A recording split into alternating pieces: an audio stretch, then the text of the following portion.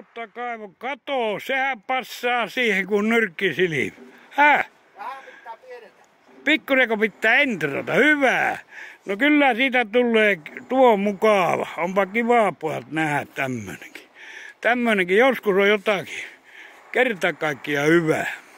Vesipunkkeri Otto jäi kesken. Se piti tulla tänne ja virittää täällä tämmöisiä letkun liittimiä ja että ettei sieltä Leena löysi joku meesli. Tänne pitää nyt panna meidän vielä tänne letkuun sisälle tuo Desifioidi aina. Sillä me nyt yritetään tätä televitä näin. Niin, tänään saatiin tänne tämmönen ihmisystävällisempi septikaivon kansi tänne, kun ei sitä jaksanut. Sehän piti olla podaareita nostaa entistä kantta. Ja nyt tää on jo jääriitteen pukannut taas tähän, mutta katsotaanpa miten se kehittyy jäätiköt tässä. Nää.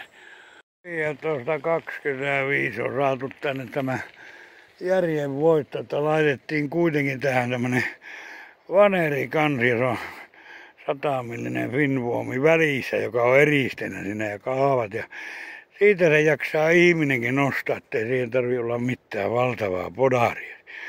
Näin on ja toppila rupeaa tässä jäätymään.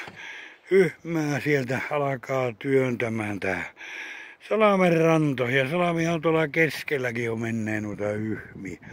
No näin on ja vesipunkkeri on tehty. Näin on.